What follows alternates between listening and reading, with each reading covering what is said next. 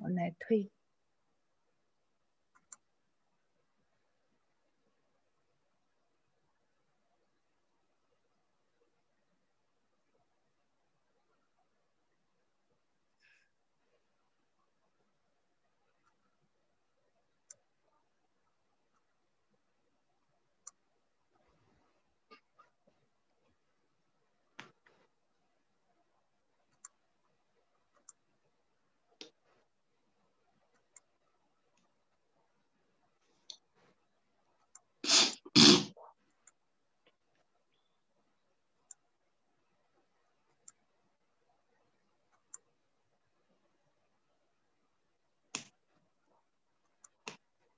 好，大家好，这里是诗伟书房啊。今天我请到一个大咖啊，也是我的好朋友北村老师。那北村老师，呃，作为写作的时候，他在呃一九八一年，他就他的呃最早的小说《黑马群》就在《作品与真名》里面获得大家的关于这个小说的真名。我一看，一九八一年那个时候我在写诗，还没怎么看中国的小说，中国当代的小说还没看。所以，嗯，北村老师作为当时是作为先锋派小说家，那之后呢，北村老师也是很早开始进行基督教文学的创作，呃，所以不能算前辈，因为我跟他一样大，但是至少是呃先先行者，是当代的基督教文学的先行者。我记得我最早的时候认识杨建龙老师，他就跟我提出，他说：“哎，他写呃关于基督教文学就写到北村，他说活着的他就只知道北村了。他说那你们以后的是不是能出套书呢？也就是因为这个原因，后来我就编辑了《灵性啊文学丛书》，所以呃可见就是今天我们来采访，至少是活着的。”中国基督教文学写作的啊先行者和大咖，那呃，所以我都有点紧张啊。今天我们来呃采访北村的时候，我知道，嗯，大家很多人都对他很了解。呃，我刚刚做了一个直播上，我做了一个呃就是预告，那就有人说曾经在呃大学时代。还有说在中学时代看北村书的，在 YouTube 直播上，那也是让我带他们向他问好。呃，我这里简单介绍一下，那个在一九八六年小说处女作《黑马群》发表以后，接着北村以《者说》系列中篇和呃卓玛的爱情、周瑜的喊叫。周瑜的喊叫就是后来拍成电影的《周瑜的火车》，和长篇小说《诗喜的河》，跻身中国先锋小说家代表作家行列。从二零零三年开始，啊，他的作品开始以理想主义和正面的价值为创作目标。这个在中国文学呃作家里面，我我认为是非常少的这种执着于正面的直击。以及这种心灵的纬度，他有长篇小说《望着你》《玻璃》《愤怒》，呃，还有到二零零六年有《我与上帝有个约》，获得华语传媒文学大奖年度小说奖和汤青文学奖。啊，最近的一部长篇小说是《安慰书》。那现在我们就请北村老师和大家打个招呼。呃，大家好。非常高兴哈，上来跟大家互动，这对我来说也是一个这个学习的机会啊！希望在这样的互动和交流当中呢，能学到一些东西啊！谢谢大家。啊，北村，我记得就是我们都成为基督徒以后 正式见面，应该是二零零五年，那个时候我回到北京啊，我们见面的时候，呃，从那个时候开始呢，我记得有一次谈话。你说的一句话，可能你已经忘了，但是那句话一直记在我心里。因为当时我们谈到基督教文学，我就说，我说我们俩有一个共识，就是觉得这一代人，就是我们这一代人不会呃走到基督教文学的顶峰。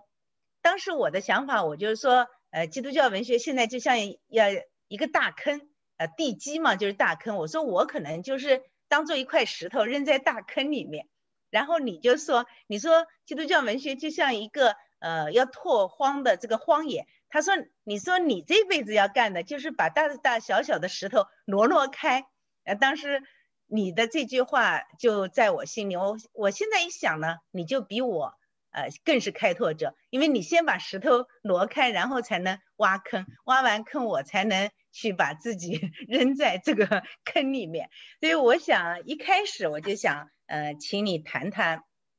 你怎么看，就是今天你的写作和整个的中国基督教文学的走向。好的哈，我就谈一下我自己的体会哈。刚才您说这个，呃，中国的基督教文学，呃，属于拓荒阶段，呃，确实是，确实事实也是这样的哈因为。呃，整个福音传到中国啊，呃，这个就是它的时间也不历史也不是太长啊。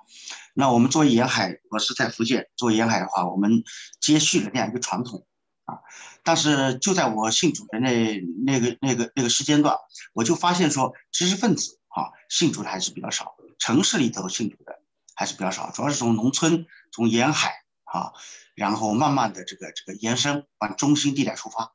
呃，但是知识分子信主的人群是非常少，它不具有代表性，啊，呃，我是很幸运，感谢主哈，就是说来拣选我啊，呃，我还当然还不是当时还不是很清楚，啊，就是神的意思在我身上要成就什么，嗯，很自觉的啊去接受这个福音，以及，呃，他在我们生命里面的这个所做的工啊，去去改变它，呃，当然有的时候它会延伸到我们的创作，那延伸我们创作的时候呢，我。我就感觉到说，啊，我们碰到一个语境的困难，那这个语境的困难是在我们初信的时候，啊，我的生命还没有完全这个，呃，有一定的这个长进的时候，啊，遇到的一个困境。实际上，在整个，呃，中国啊，这个基督教文学，呃，不但中国基督教文学是这样，实际上在西方的，我们认为所谓的基督教和基督教文学，哈，它都有这么一个矛盾，啊，就是说，这是我个人的看法，不一定对哈，呃。就是说，不是我们说基督教文学这这个词哈的定位啊，定义很模糊，很难定义啊。为什么呢？什么叫基督文学？对英国对英国文学来说，比如说啊，他所所说的基督教文学，其实就是他的文学，他有这个基督教传统啊啊，甚至像这个《天路历程》，你说他是基督教内文学还是基督教外文学？哈，他这个就是模糊这个边界了，啊。所以这个很难区分。它对我们这个刚开始的这个正在拓荒阶段的这个呃中国基督教文学来说，我们暂且使用这个词啊，就更难来界定啊。有一段时间，可能我也听到一些从事文学的或艺术的弟兄姊妹有相应的类似的看法，一度困扰我。但随着我们生命的长进的时候，然后我们在阅读一些呃先知或者是叫文学前辈。呃，有这样基督教传统的这个伟大的文学作品的时候，慢慢的，我们就有一个感受感觉，就是也许这个问题本来就不是一个问题，它是个伪问题，啊，因为你的生命如何的生长，你就会如何的表现出来，啊，那么这个表现出来以后呢，它就会呈现两个呃界别，比方说，在教会这个系统，就会叫圣徒这个接圣徒接纳这个系统之内的，好，这个。那那那那是一种就属灵意义上，呃，辅导的啊，这个这个书，就像你写的有关的一些圣徒的书啊，这个属属属于这这一类的文学。但实际上在教会外的，比如说他的身份是呃基督徒的啊，那么这个呢，他内心的挣扎，所有的天人交战，他把它写下来，所以这个又是另外一种啊。我们不是说他是在世俗的文学，因为他是他是他是抛弃了世界的原则，他在世界。呃，发表啊，这个这个这个出版啊，但是他抛弃了世界的原则啊，不属世界 啊，啊，世界是一个原则，它不是一个一个具体的东西，所以我是这么这么认为，就是这个就这个问题呢，呃，实际上到后面我们会简单把它这样分啊，比如说我们不是在教会的属灵系统里面写的东西，那么这个实际上都在写自己，那么在教会里这个系统里面的圣徒这个系统里面写的有属灵意义上的这个文学。这个都在写基督，好，这是我个人的一个自己的一个一个个一个划分不一定对，就是，嗯，好，非常好。那，哎，我这个地方等一下，这里那个同样可以同样可以操作的人不要来动啊，嗯，不然现在我行不成，我跟北村两个人的。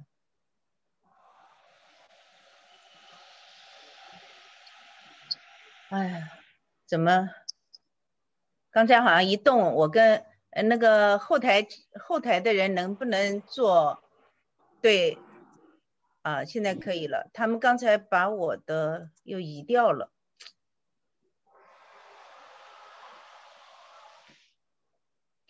嗯，后后台的人能不能把我和北村像我一开始那样放在同同屏？啊，今天出点故障，没关系，让我来弄吧。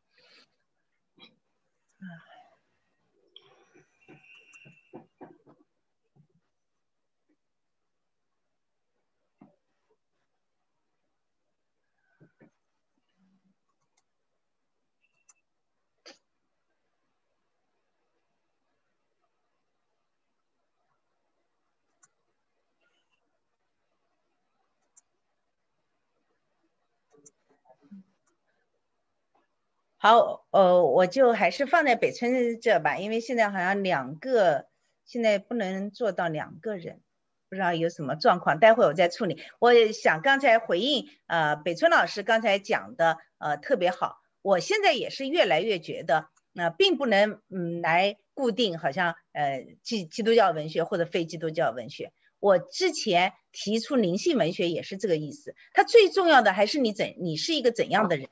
你是一个怎样的？呃，当你的生命中有基督的时候，你写什么样的作品都有基督；当你的生命中没有的时候，其实所谓基督教文学写到教会啊，写到呃基督啊，我觉得那个仍然不是，就是属灵的人来写属灵的事，或者说属灵的人写任何的事情，它里面都有这个灵性的维度，而不是呃一个平面的。那我最近看到北村写了一个我为什么写作呃这篇文章，我觉得特别有意思，而且呃我发现这个观点跟我也很像，就是北村讲到为什么写作，就是一个作家并不是说我只能写作，就是写作其实呃是我们的一种生命的表达方式，它可以有很多种表达方式。呃，北村在这里讲到，他说我可以是。一个像爱默生那样的，呃，边讲边写的，就一个演说家同时写作的，他也可以像史怀哲那样去做很多这种像非洲行医啊，就呃慈善的，或者去救助呃救助呃这个社会和弱势群体的，所以叫边做边写，也可以像呃彭福库尔的这种在生死考验之后凝成的这种文学结晶。那我知道北村现在也是呃做其他的事，之前他也做影视，那现在呢，那又去呃开了一个呃我特别羡慕的店，就是有很多好吃的。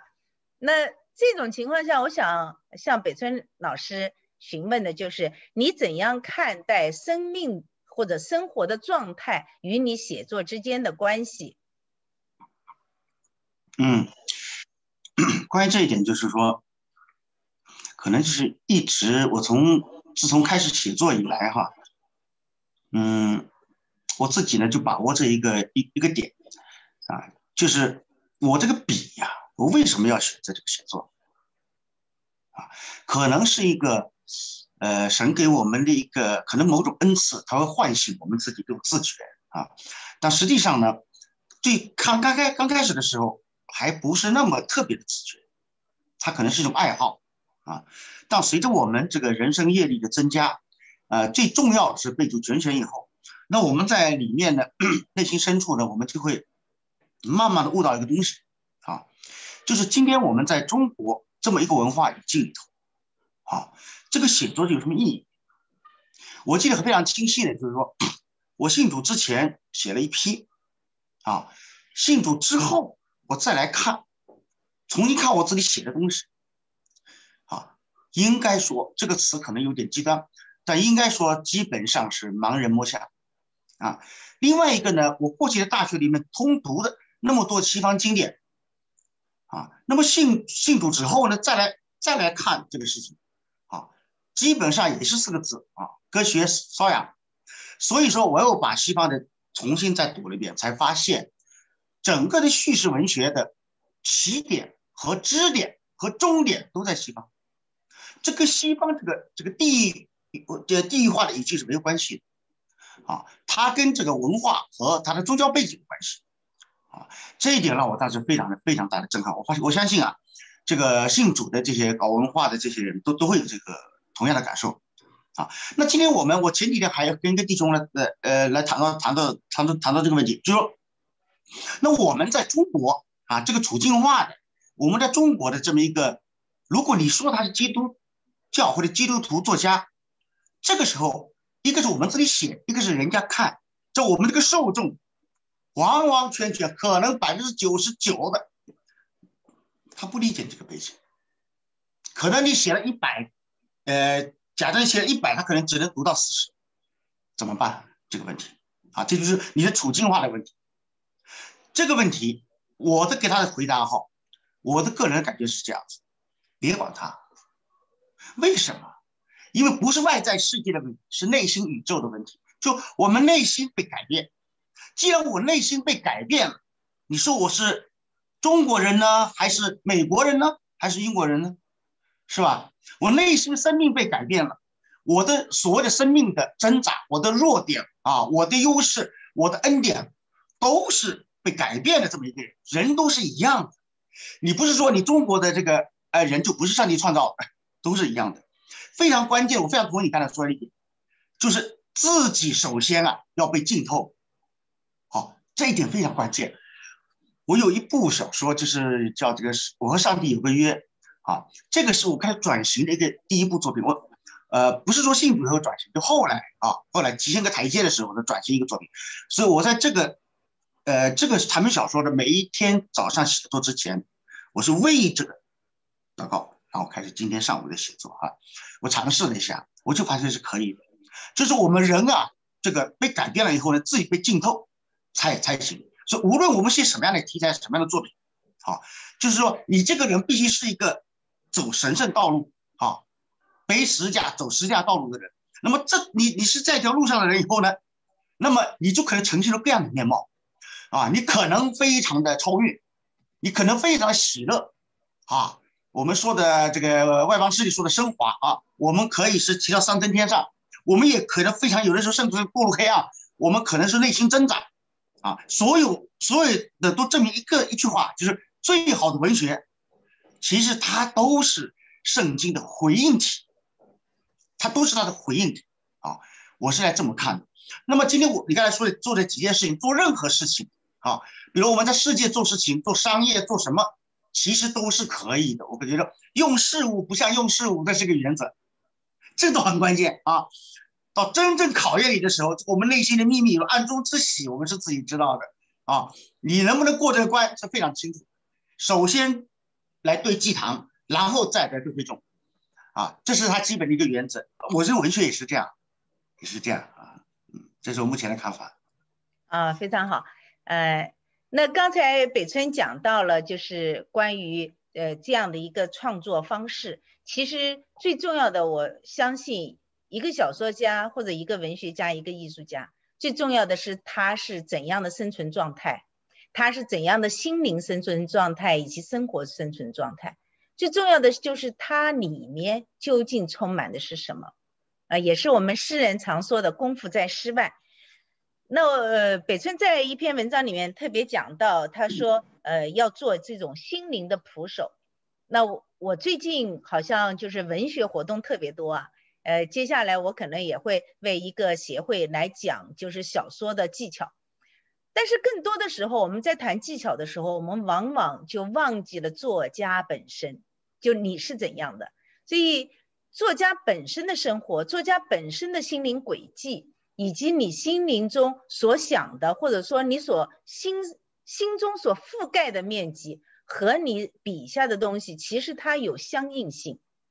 那今天中国文学大多数时候它有平面感，但是它没有立体感，没有就是对灵魂的拷问这种纵向的深度。那我也想特别在这个方面来呃问问北村老师。那北村老师，你是不是可以结合你的作品跟我们讲讲，你是怎样在自己的作品中来寻求这种呃心灵的捕手，来做一个心灵的捕手，来寻求这种心灵的这样一个纵向的维度？你是怎样来做的？我特别记得你的那本小说《我与上帝有个约》。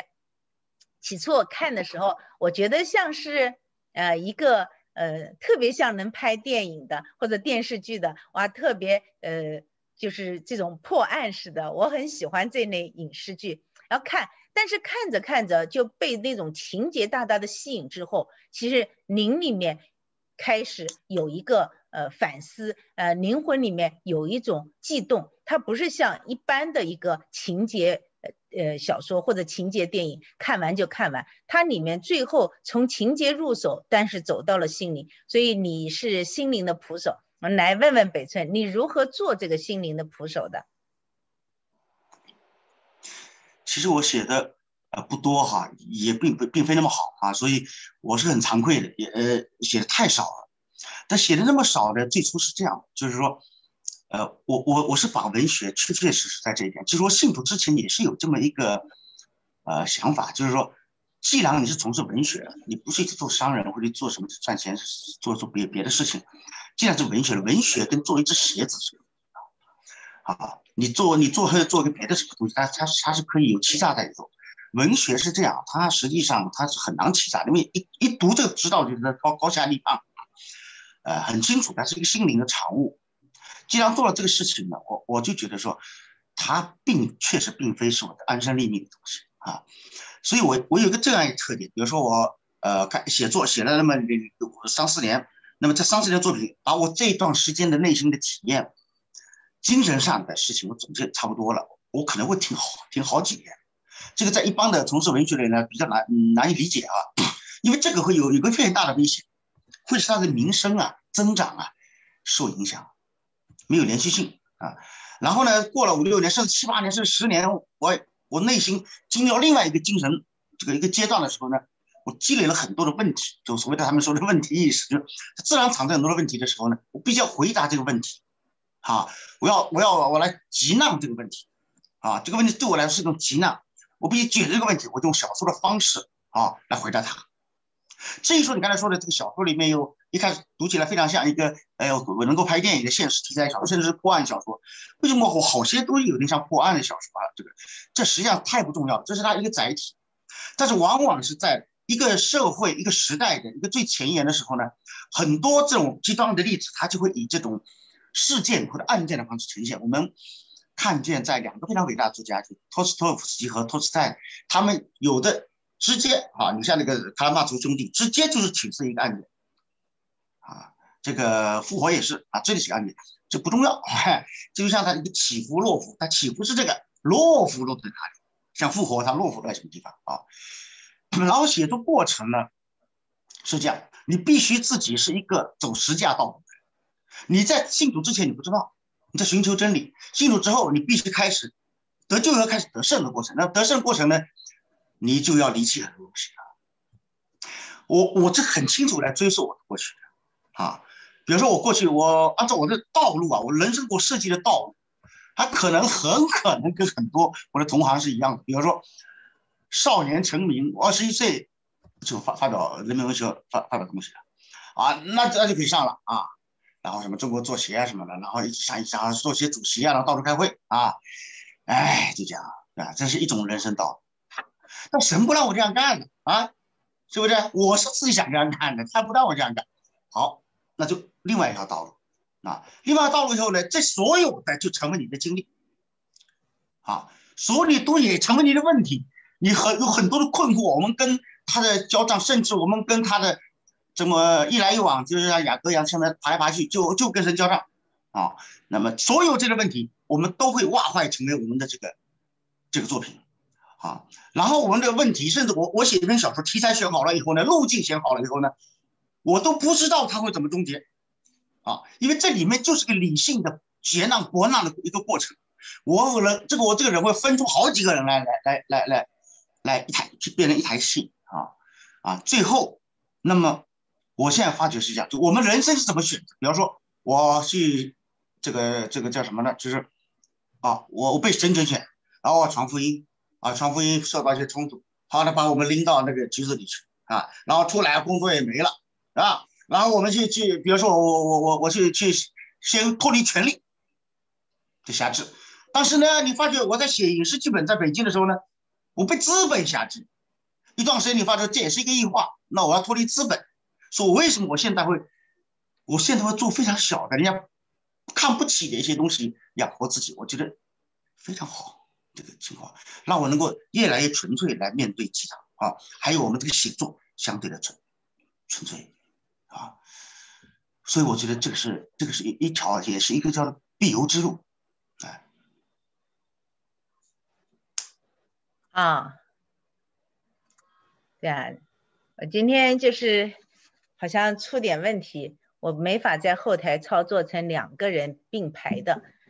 没关系，我们就这样轮流 看看谁会操作的。那我刚才我觉得那个北村讲的一点非常好，他讲到就是他在北京的时候，其实北村是呃作家里面比较早的接触影视的。而且写了很多，我知道他呃用一支笔，呃不仅自己生活，呃孩子啊、老婆啊，当时其实有一段时间我挺羡慕他的。哎呀，这个写小说写到影视都那么喜欢，那也是很多作家，特别是写小说的作家都向往的，呃就是能走到这一步。但我我发现北村有个特点，就是每次他到了某一步，他不是说到了人们向往的那一步，他就会一直在那，他会反思。比如说他先锋文学走到一一定时候，而且他的写法最早，他的写法就引起这个作品与真名的这样讨论，所以也就是说他的呃写小说的写法是非常新颖的，但是他没有一直炫技，没有像有些啊先锋作家就是。一直去呃追求这种技巧和外在的，呃，最后把自己困死在那。但是他却反过头来来思考他的心灵，就不是到语言为止，不是到技巧为止。所以他后来走向了这种心灵的理想主义的，或者说灵性的这种写作。那我最早就是编灵性文学丛书的时候，就编了很多，还有北村的诗歌，我是挺喜欢北村的诗歌的，写的非常真挚，而且有灵气。那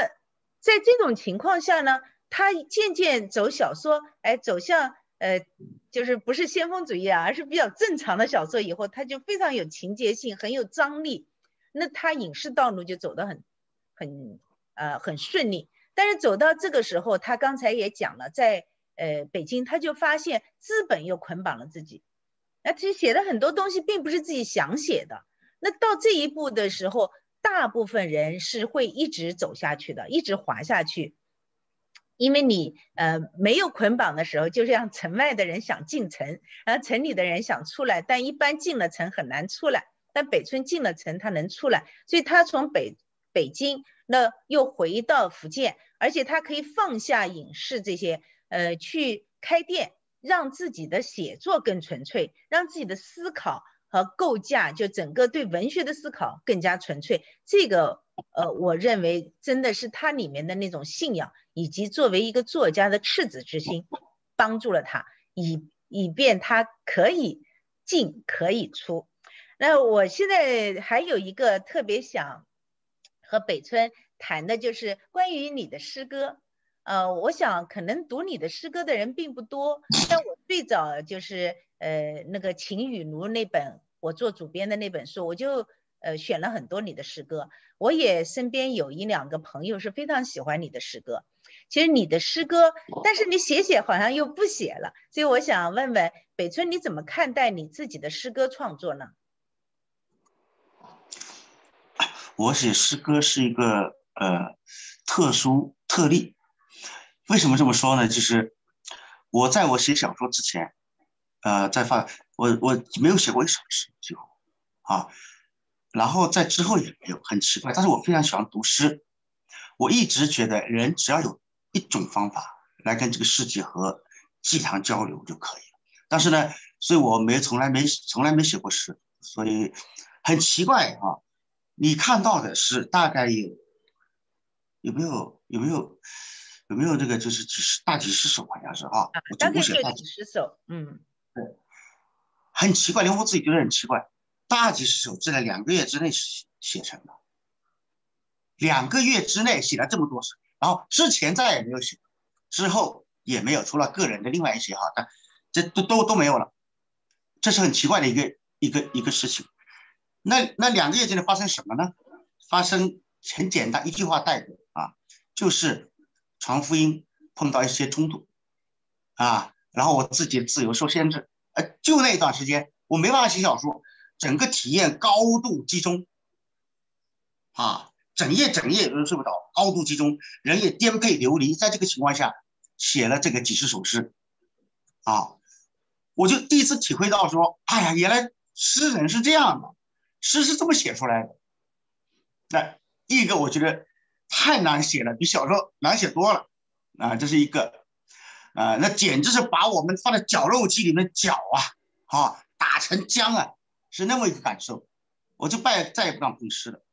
第二个，我觉得诗，呃，某种程度上就是说就是正义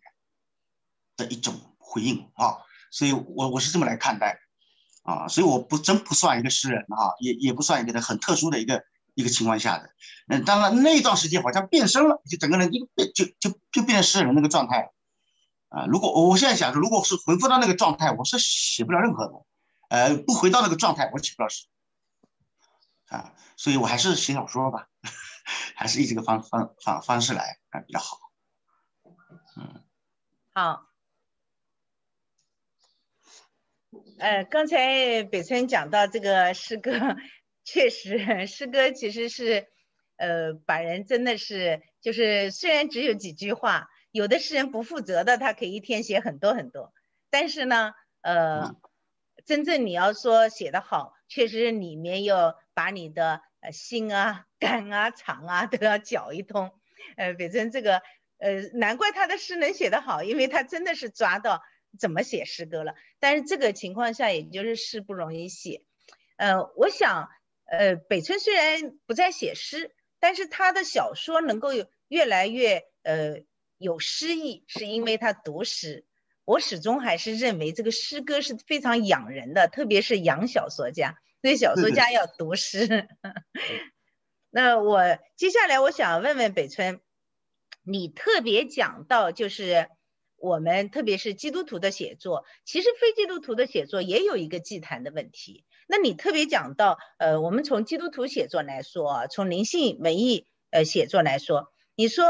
呃，你在这篇文章说，呃，当我们就是不愿意将自己奉献在真理的祭坛上的时候，我们是怕将自己放上去就会烧成灰烬。但事实上，如果你放上去的话呢，像亚伯拉罕献以撒一样，献上的水就有别的东西来代替。那我知道一个非常好的一个有一个小说家，最近私下啊谈的时候，他就讲到，他说他不敢呃有信仰，就不敢信上帝。他说我要信就真信，真信我呃就要把自己的创作啊、自己的心啊都要放到祭坛上去。他说我就觉得一放上去，可能什么都没有了。我再也写不出来了，所以他一方面也挺喜欢看我的作品啊，看北村作品，但另外一方面他又觉得他专门都是写，嗯，就是说，他说他专门是跟地狱打交道的，跟地狱里面的呃罪恶之火打交道的。他说，那我一放到祭坛上，那我以后写什么呢？那我又不会写光明，所以这一点上，呃，可能是很多作家的一个疑虑。在这点上，北村能不能给我们一些呃，就是你的经验或者你的。解释呢？你刚才举这个例子非常有意思啊。第一个呢，我很喜欢，我不知道这个谁，这个人谁啊？我很喜欢这么这这这一类型的作家，又会偶尔碰到几个，哈，呃呃，因为这些人就是说，他确实有一种就是怎么说呢，就有种很自然的啊，想趋近和追求真理和高尚这呃这这这么一个一个一个一个姿态啊，哎，但是你注意到没有？你刚才举的这个例子当中啊。我嗅掉了，嗅到了两种味道啊啊！这个是从我们这边来来来说的。第一个呢，他说实际上这等等于他在什么说呢？就我我我我我现在在决定我要不要信，我很为难，很犹豫，这里面有自我在，啊，有有自我在，为什么？因为这个信主的事情是上帝在无花果树底下就看早就看见你了啊，就是很多很多，我在信之前也是这样，我甚至写了那个呃研究各种宗教，还写了那个词研究禅宗。还写了一个哲学的什么鬼，写二十几万字，这这种很好笑的啊，呃，那个时候都在激进的，但是呢，这里头啊，就是有一个说，我的我还好像我的信主决断决断权还还还还在我这边啊，呃，这这这是这这这是一个叫做骄傲啊，人呢，信主就是把这个骄傲打掉，这要属神的手来做的事情啊啊，这是一个。第二个，我嗅到这种味道是自我，就是我要表达很多。观点啊，我要表达非常多我自己的学学说啊，我的立场，我的理论，实际上碰到神以后是你是啥也没有，土崩瓦解啊，所以说呃还没信主的，基本上你很隐藏的这两个问题在里头啊，但是我其实是有时间的，神是有时间的啊，对，啊，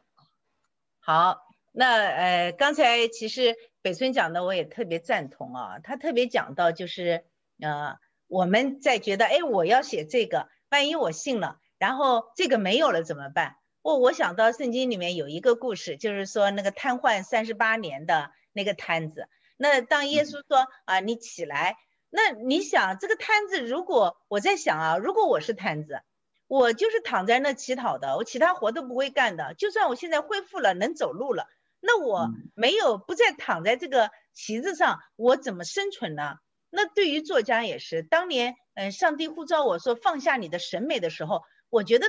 对于我一个艺术家，一个呃，当时主要是诗人，诗人跟艺术家来说，放下审美就等于什么都没有，就是命就没了。那命没了以后，哦，我怎么写呢？但呃，我对这个朋友的呃想法，我也是第一是很感动，他是认真的。第二呢，呃，我也确实是觉得对他来说是难的，因为你上帝不会先答应你，将来你能写得很好，现在你可以暂时不写，哎，不会这样，就是你首先敢不敢看穿自己今天写的东西，呃，你只有觉得，哎，我这一切可以放下的，我们。我这一切，我的命，甚至我的写作，都到了一个尽头，就到了我可以放下，我可以来让他来使用我，随便他用成什么样，不管是当作家还是不当作家。那如果没有这个心态，即便成为基督徒，他写出来作品仍然是人本主义的，不是神本主义的，仍然是呃，无论他是写崇高的，还是写好像就是说罪。都一样，都是他以自己为中心的。嗯，只有他完全死了，让神来使用他，也就是说帮他换一颗心，然后换一个眼光和视角。其实他再写出来东西，无论上帝是让他写天上的事，还是写地下的事，无论是写人性中最隐藏的那个黑暗和罪，还是写那个人性中那个神的形象，他都一样是。不同的眼光写出来不同的东西，所以我也我也觉为这个朋友啊觉得难过。可能直到有一天，他觉得自己一无所有，自己所有有的东西都不算什么的时候，也许才能放下。这也是很多作家今天特别挣扎和痛苦的。就我万一 信了耶稣，我现在拥有的一切不都没了吗？那我觉得北村今天刚才回答的特别好。那我想问问北村，啊，接下来你有怎样的打算呢？就是说，呃，你打算再写哪一类的东西，或者说你的创作会向哪个方向发展呢？我还是接续刚才刚才说的那个哈，呃，那个例子啊，实际上这个也就是一个本质上来说，它就是是就是呃，要浪谢衣裳的问题啊。就是你放上去到底有没有呢？是不是全全盘都没有了啊？但总的来说，对于刚进入这个生命啊，这个接受福音的人来说，实际上他这个问题是不存在的。为什么呢？根本就不是你你咱们把你救活了，你那个电电做的那个爬着那个卤子有什么用呢？那不就扔掉了吗？是吧？没有办法，他现在看这个卤子是非常重要啊，非常重要。而且呢，他用文学来寻找这个，只能说它是前面的一个铺垫啊，跟就从文学里面找上帝找不着，肯定找不着的，是吧？这个这个是没有办法的。我我我我记得那个时候我是完完全全是猝不及防，被人家领到一个小阁楼里面，然后就就就这样被就被信了啊，就被信了。然后信了以后呢，立刻的的确确，那大概有好两三年时间是完全不能写作，就像废工了一样啊，就像瘫痪了一样，就完全不能写。其实不知道是，就像我们没那么大，我不不能这样来比对比，但是这个体验是一样的。像那就像那个保罗被那个眼睛就是弄瞎一样，就完全不能不能写。我跟着他们跑跑到到到处传福音多少年？那那好好几年。我记得有一次，哎，有一天啊，在那个传福音传到我们那个一个一个县还是一个那个什么地方的时候。在一个那小阁楼里面，在这不，一个一个一个平房里头，然后有一个凳子，很小一个凳子。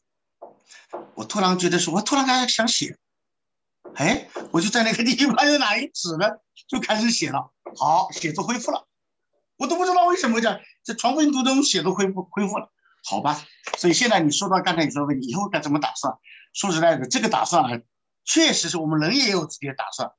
但是首先是他的打算。我有个感觉啊，我们没有那么大崇高的东西，什么我们领受托付，我们是多少千两的银子什么的，我觉得绝对没有了。现在，现在信主信到这样这个时候，已经是非常知道自己是是不是说自人当呃罪人当中最亏了，最亏当中最亏，其实基本上就没办法了啊，没办法了。就是，但是有一点哈，有一点就是说，就是这个神神呼召你，好。你最后，你在这个活着，你作为人的价值，你有吗？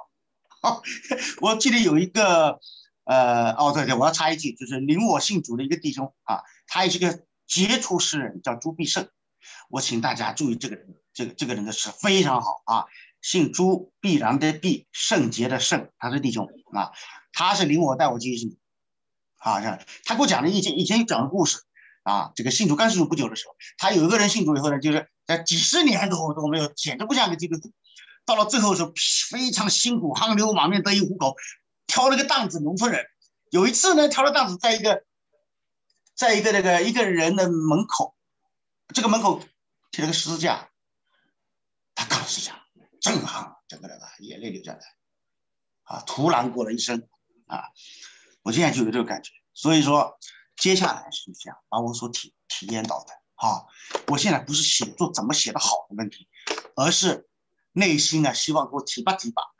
世人要求提拔职务，我要求这里边给我提拔提提拔一下，我就能写好一点，提拔写好一点，好交账，好交账。那那基本上啊，就这样一个有一个主题，一个大的主题，结合我现在的处境，好。就像那些伟大的这个作时代这些作家一样，结合他的处境啊，还有像辛格一样啊，结合他的文化啊，然后把我们这个呼召托付和我们内心的所有的处境境况啊，一切的属灵面貌呈现出来，你你只要把它呈现出来就可以了，就最好的文学，是吧？好，大概就这些计划，嗯。啊，我觉得真的是很有意思啊。其实我跟北村，呃，嗯，没怎么谈这些事，因为自从呃那个零几年谈过，后来见过，但是没有再谈我们的写作。呃，我我发现非常像，就像我前阵子去年吧，大家要我讲讲我以后的计划，我讲了一个啊，七十岁以前我想写完什么书，但现在已经开始改变，因为它由不得我。我曾经讲过，我写作就好像是一个打印机，我也不知道下面他要打印什么，呃，并不是完全我能做主。那但是最重要的不是技巧问题，最重要的是我里面怎样就是能够我这个管道能够更干净，啊，我怎样能够更少自己的意思？因为你越少自己的意思呢，凡是我自己的意思写出来的都比较 low，就是你越没有自己的意思，越完全让呃。上帝的那种呃旨意或者上帝的那种眼光，它能够映照在我们的呃心上，然后就能够映照在我们的作品中，他就特别棒。那我自己的意思都是让他减分的，所以我我发现北村说的嗯，我心里特别的有同感。越往前走越没把握，呃，越写越没把握。呃，我今天没写一本书，因为我觉得都是超过了自己就是能力的极限，所以我每写一本书的时候，都不断的在自我怀疑。就是过去那种信心满满，好像再也没了。通常的情况下都是信心不足、自我怀疑、自我否定。仅仅是说，哎，既然他他说这样写，那就这样写吧。等写出来，呃，好还是坏，或者大家觉得，哎，有有称赞的、喜欢的，呃，我也不觉得是那那是我自己弄出来的。所以这种这种感受吧，可能很和很多作家是不一样的。很多作家是要有很大的信心，呃，自信，然后呃，设计好，结构好，然后写，嗯，那呃，像我今天听了北村这个，我觉得挺得安慰的，因为 我过去不是写小说啊，那他是最早写小说的，那写到今天，我以为他又是个男生啊，男人都比女人有把握，我以为他肯定很有把握，我这里一点把握都没有，但我刚才一听，太棒了。就是 有共同点，都没什么把握，也都不知道明天怎么做，但只有一条的那个祷告和祈求，就是呃把我里面提到更高，从众水之上能把我拎到上面看得见，就属灵人看透万事嘛，希望更加属灵，更加能够看透万事。我也特别呃盼望就是有更多机会啊，比如像我们这样能够。呃，畅谈。那下一次呢？下个星期呢？正好就是我采访朱必胜。朱必胜是个诗人，我知道他跟北村是认识的，但我还不知道是有这样的渊源啊。下个星期就是采访朱必胜。朱必胜的诗歌确实很好，而且他去年刚写了一部长篇，也很有意思，所以下个星期会采访。那最后我想，呃，请北村用呃几句话给我们总结一下，也是给大家。呃，喜欢写作，特别是基督徒里面喜欢写作，或者不是基督徒，他对灵性这个纬度有追求的，就是想做心灵捕手的人。那么你给他们几句勉励呀，或者给他们几句建议。那我们今天时间就差不多，呃，接下来我们会有问答互动的时间。嗯，我我我我觉得必胜弟兄啊，朱必胜，我认为是中国最好的诗人。你去看他的诗哈，因为他一直很低调，所以说我们都是隐性阅读，就是都是我自己在阅读，他都没在公众当中都没有啊。他也是带我庆祝，我们的关系是我告诉你是密友中的密友，啊，就是弟兄啊。所以说我们都是那种在社会上没有什么地位啊，但是我们挺那个的，就是说这个也不掌握什么权利啊，但是我们觉得是一辈子的朋友。我希望大家哈。呃，更多的去关注他的这个这个这个诗歌啊。那么我至于说我们未来哈，我们怎么走这条道啊？我们实在说啊，我们自己不敢做任何的断言啊。我的意思说，就是我们只能是敬畏、委身、顺服、尽力啊。我就讲这四个词哈，也是对我自己是呃大家一起共勉啊。这样，谢谢大家。好的，那今天的我们的直播时间呢，就是呃到这里就结束了。呃，大家如果呃有什么问题，呃，今天因为 YouTube 出点状况，YouTube 上我的直播间只能听见北村的声音，听不见我的声音。今天不知道为什么状况那么多，从来没有出过，但能听见北村的声音就可以了。我的以后再补。那呃，今天的讨论就完全在 Zoom 上，我一会儿就会把。呃，直播间的我会呃停止，呃，就是给大家预告一下，下个星期就是同样的时间，我访谈朱必胜。呃，我也觉得他的诗很好，但是确实很可惜，在诗歌界好像他很多人都不知道他。那我就希望访谈的时候能让大家更知道他。呃，我们接下来是一个呃一个 Q&A。所以，我们凡是在 Zoom 里面的，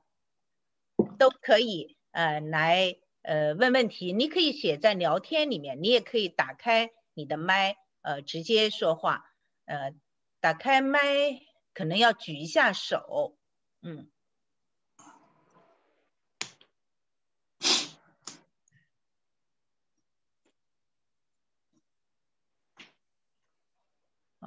我现在把它放到一个画廊视图，然后，有有问题吗？或者也想和北村老师互动的？因为我经常大家都能见到我啊，北村难得请来。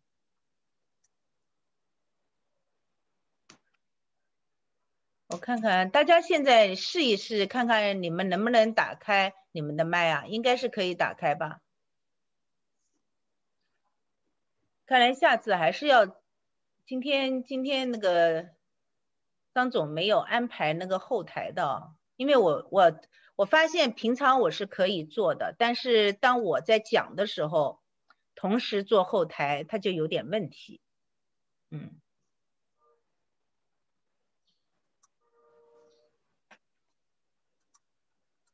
好，现在我已经允许呃大家自己打开麦，你们想呃分享的人，刚才有一位病堂说谢谢北村弟兄，谢谢师姐妹，呃还有回应说管道更干净，还有就有一个 Edis 问说朱必胜是厦门大学中文系毕业采贝师。社社长吗？因为我不太清楚啊。那北村可以回应一下。北村，你要你的你的那个静音被你自己静了。好，开了吧？啊，对对对，对，朱必胜是厦大的，呃，八八四级中文系，嗯，采贝的。看看，嗯。啊，张牧师，我看开麦了，张牧师。我讲两句啊，啊，你你是中文系的，呃，元老啊，这个非常好啊，这节目特别好，我这个很亏欠啊，这个视频的节目我上来听的不多，这次听我觉得很有意义的探索，还有今天主要是北春来了啊，当然也是因为北春的大名嘛，那这个一个著名的先锋派的作家又信了耶稣。那他讲来的作品和他人生的轨迹都是我所关注的啊。今天我看到阿信也在里边，这个老朋友阿信啊，这个也是祝福大家。我我是北大作家班的，大家知道我是啊，这个应该说写作应该是我的专业。呃，这个但是很惭愧啊，这一生没写出什么好作品来啊。呃，我是觉得，我个人觉得，这个当一个人信主以后啊。他那个世界观发生变化，就他这个 world view 对世界的看法发生变化以后呢，他会经历一段，呃非常难的动笔的时间。那这个需要他对他的信仰有笃定，呃，他知道上帝在他生命中的计划和呼召，他知道他这个作品呢，他不仅是写给人看的，他主要怎么想写的让上帝讨上帝的喜悦。我觉得这个一个基督教的这个灵性文学也好，这个基督教的作品也好，中国现在还不能形成影响。啊，当然我们看到这个最有影响力的还是苏俄的作品啊。当我们读托尔斯泰，呃，这个这些那一代的作家，他们不是故意的来写耶稣，也不意的故意的写基督教，但是他们的整个的世界观里边，呃，从人性的罪啊，一直到人的美善，上帝创造给人的美善。呃，表达啊，他们对上帝的这个信仰的一个笃定。那我觉得啊，呃，对于我们来说，我觉得啊，过去搞过文学的，就特别想写点东西，也特别想看别人写的东西啊。所以我是真的是盼望中国的基督徒的作家写出更多的这个灵性的作品。那不一定非得把它一定要是说，哎，这是基督教的或者基督徒写的，呃，这个。这个作品还是要给人看的，呃，上帝看了，人也要看，对不对？那人看这个也非常的重要，呃，我觉得中国的作品呢，啊，少了点苦难，因为我们这个时代经历的苦难不多啊，所以这个，呃，就少了一份沉重，嗯，那我是觉得，对现在啊人来说，能够反映啊人类的在苦难中的那种。苦痛、迷惘、困惑，那当然也不要失去盼望。我觉得这个这个作品可能是苦难的分量越重，越能打动人心。其实我们这个时代你如果仔细发掘很多的被啊被侮辱、被迫害、呃被世人遗忘的人，他们的生活啊，他们的故事，我觉得需要我们呃作家用我们真诚的笔就把他们反映出来。我觉得这个是呃特别好。我我很喜欢读老骆那个老廖啊，老廖的东西。老廖经常会在他的这个。呃，廖一武啊，在他的这个啊脸书上发些短作品，或者他一些片段。呃，我们家老廖没读过什么书啊，老廖现在还没信耶稣呢啊，给他传福音，他还是蛮难接受的啊。呃，辩论就跟你辩论吧啊。但是呢，他的作品里我发现是有灵性的。每当我读他的作品，我都会有感动。啊，他的他不是故弄玩字玩文字，他也不是什么中文系的。呃，但是他的作品非常生活化，这个我是觉得我们，呃，像以北村啊，差不多这一代人啊，他们这一代人六六零后以后的这一批人到七零啊这中间的，他们对中国的生活的体验是前面一代不如你们啊这个这个学识的深厚，那后一代呢不如你们历史的沉重，我觉得可能。会出现一些很好的作品，这也需要我们为你祷为你们祷告啊！我们也期待啊，呃，这个市委这个节目不错，做的挺好。呃，我们俩一个教会的，我也有我的节目谈天说地，所以我们俩节目经常冲突。我我也呃呃看的不多啊，因为这些年也不搞文学了啊，这个离文学界稍远了一点有的时候反而对其他的更感兴趣一些，所以我大概有点反馈，我觉得这个。节目很好，而且这个提法也好，灵性文学好像佛教也提出这种东西了。有我看有佛教的啊，这个一些的学者提出灵性文学的问题啊。当然，我讲啊，基督教这个灵性文学应该是啊，能够回答很多世人的疑问啊。所以，如果你读这个啊呃这个 Charles Colson 的呃呃世界观的故事。你会看到那个影响之大，他在苦难中对上帝的感悟以及对人生的感悟。好，北春啊，很高兴啊，在这听你真的是讲的非常好，而且谦卑。我觉得北春特别的谦卑，这个可能信主以后跟信主之前是不太一样的啊。不过周瑜的火车，呃，这个我是看了电影也看了，觉得写的特别好啊。当然演演员演的也好，呃，这个。所以北春还是很谦卑的。我听于杰没少讲你的故事。你们在一个教会的时候，这个呃问候你们，问候国内的弟兄姊妹。阿信，你们都好啊！愿上帝祝福你们。好，谢谢张牧师啊。那个其实灵性文学最早就是我提的，但我现在发现我们提啥那个佛教都要拿去用啊，那无所谓了。那包括现在什么祷告啊 什么，哎，我我刚才看见那个呃，今天多伦多的。张林也是写唐山大地震的，也是写金山的。张林从多伦多问候北村，张林在吗？呃，可以打开你的麦，呃，和北村直接说两句。现在真的很好，大家都能面对面。张林最近的那个劳燕，呃，他的英文版在国外卖的也很好，而且他劳燕里面有一个特别重要的一个人物，就是一个传教士，啊，写的也非常好。呃，张琳，因为我看不见，你可以自己打开麦就可以说话。然后阿信老师也在，也可以打开麦。啊，施伟你好，北你好，呃，我就不不露脸了哈。今天那个整个一个黄脸婆，我就不不露脸了，嗯，对不起哈。啊，我就是问候大家，我好像看见你的 list 上面有好几个熟悉的名字。就是呃，北村看到你很高兴，嗯，问候你，然后呃，我主要还是来聆听的哈，我没有什么好贡献的，就是问候大家，希望大家在疫情的这段时间里边都是平安哈，然后等到哪天我不那么黄脸婆的时候，我再露个脸吧哈，对不起了，今天因为没有准备，呃，那个那个把那张脸给露出来哈，问候大家啊。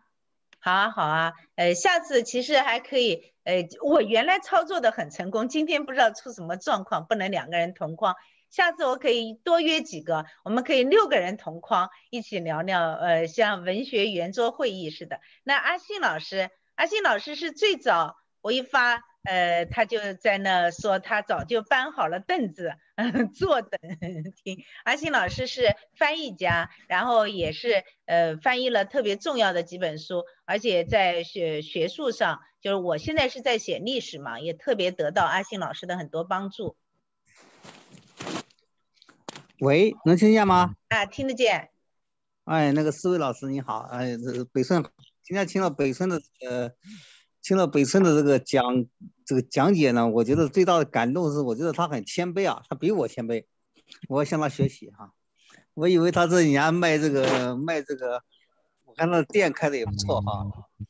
那个作品做的也不错，我以为他很骄傲呢，没想到他是这么谦卑哈。北村好，愿上帝祝福你。实际上，我觉得写作呢，我现在实际上我也想写小说，我也想想写小说呢。但是我以前都是做翻译的和写人物传记的，所以面临面临的一些困境。哎，就比方说，我觉得有的内心里觉得小说呢，没有像人物传记那样有那种真实的见证性。另外呢，小说它需要自己去构思情节，嗯，对我也构成了很大的困惑。所以，我这方面，我今天早上听到雪村讲了这个事情之后呢，呃，我觉得我还是应该去按照这种，呃，静心的去聆听上帝的旨意，呃，主让我写什么。有的时候自己还在抗拒，因为我们有的时候写作的时候还有自己的一些想法，呃，看来自己的想法也要去掉。哎，这是我今天早上的一个一个感动。我觉得，我觉得北村分享的实际上非常好。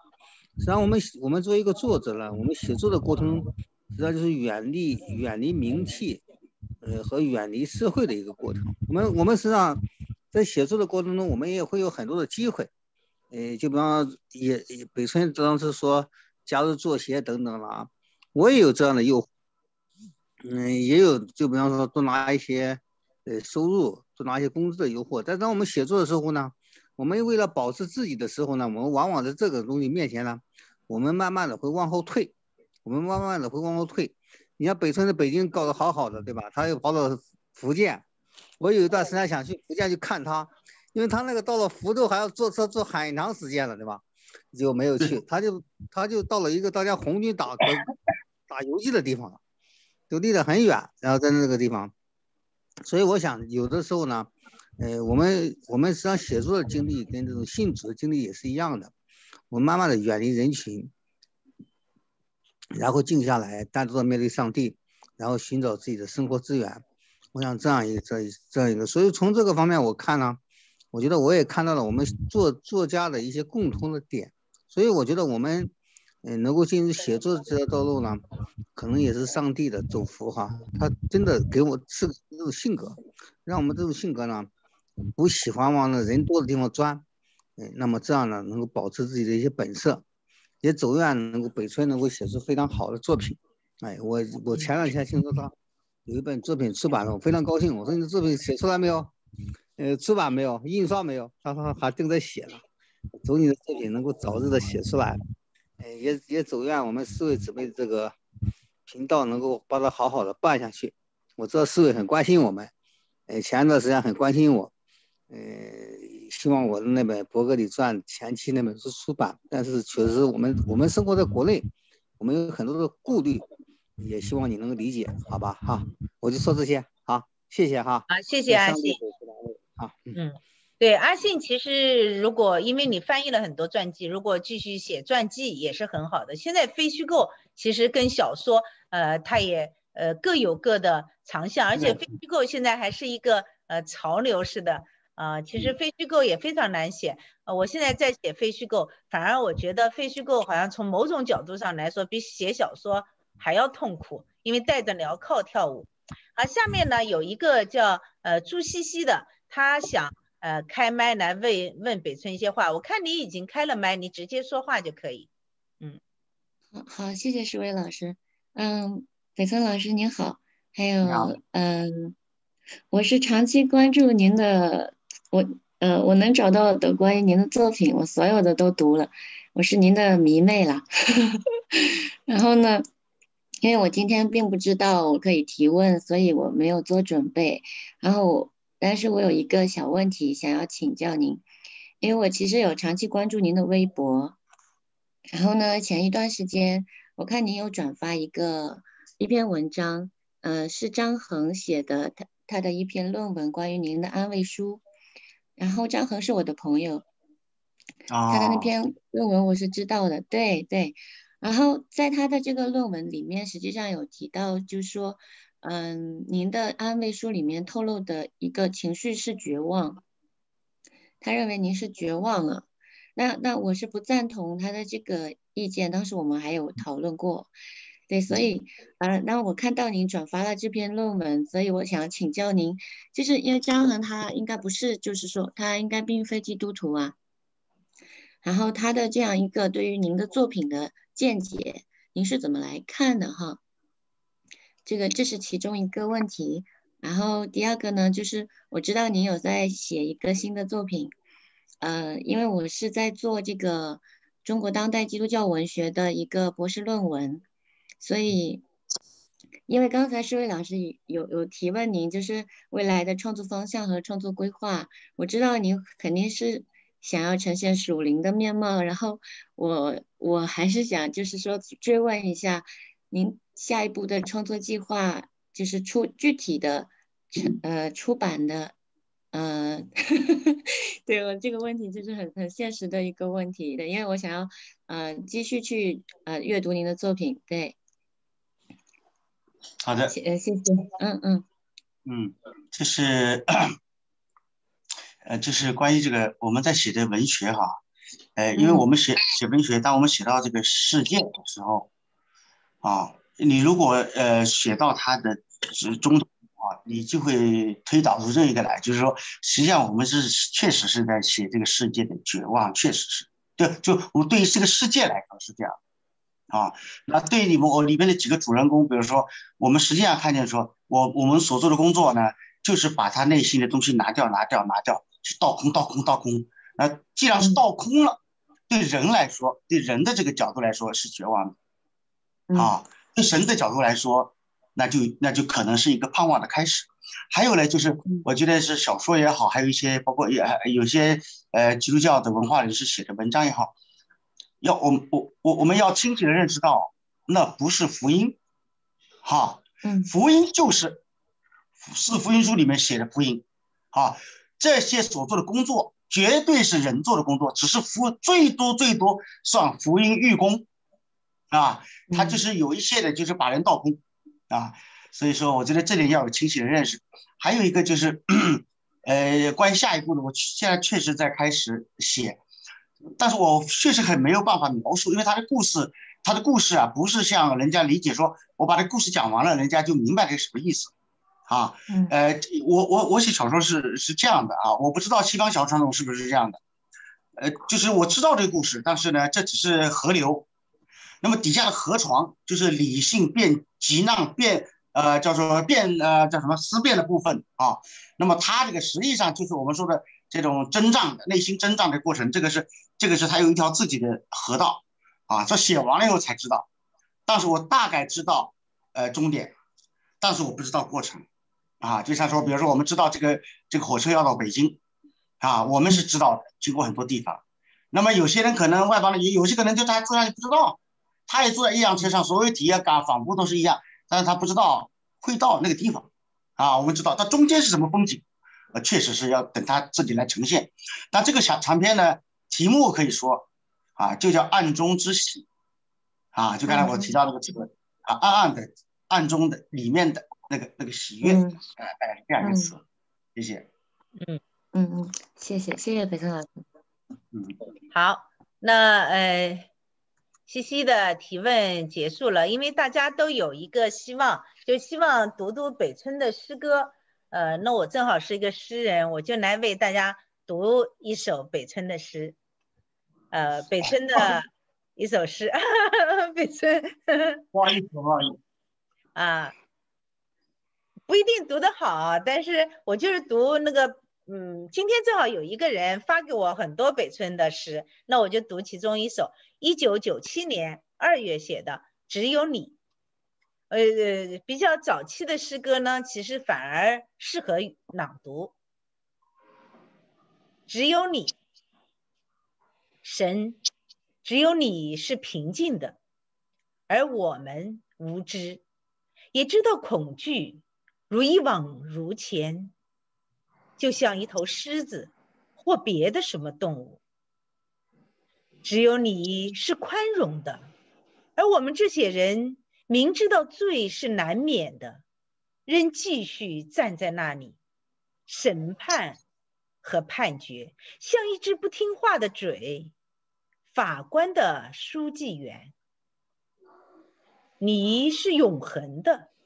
而我们这些人明知死是毒钩，也知道苦难仍一往无前。只有你是知情的，告诉我们，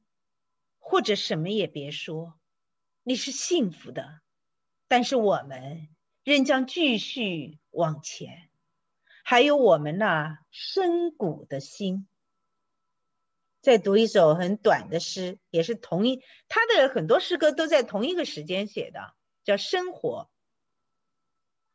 对于生活，生活啊。我们又知道多少？而在苦难面前，我们又能做些什么？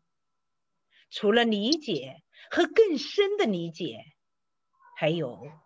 必须流淌的忠诚的眼泪。痛已经在心中积减为盐，只是这一切还没到流血的地步。苍白、无力、渴望安息。这种要求仍过分的奢侈。超度是他的事，那么向他交出空空的双手，你还要做什么？何时有喜悦之泪滴落？好，谢谢。我就念两首北村的早期的诗给大家略微品尝一下。还有什么问题吗？如果没有什么问题。我们呃今天就会结束在这里，呃也特别谢谢北村啊，虽然我跟他是老朋友，但是哎呀我要访谈他我也是挺紧张的，因为嗯没想到他确实就像阿信说的非常谦卑啊，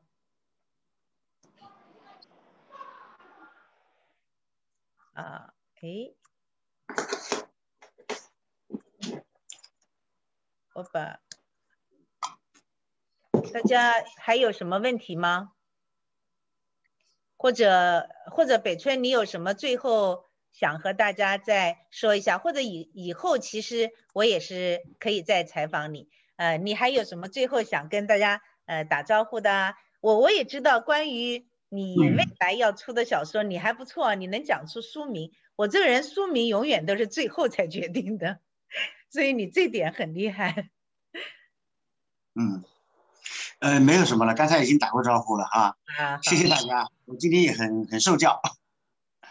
谢谢谢谢大家，呃，谢谢大家参与我们的活动，也特别谢谢北村，呃，今天能够呃来，也特别祝愿北村的那个电商越做越好，因为他卖的都是。呃，有机的食物，我要是在中国肯定买很多了。我经常看着他的微信咽口水啊，但是买不成，因为他微店做的越好，我觉得就不靠写作挣钱的话，写作就能够更自由，也更加遵循内心的那个感受。我我觉得这个是非常重要的，就先把自己养活了，然后好好写。好，再见，今天我们就到这里，再见。再见，再见，再见，谢谢。再见。嗯，这个张辉，我是要把主持人还给你吧，还给你，你才好关，不然以后都是我了。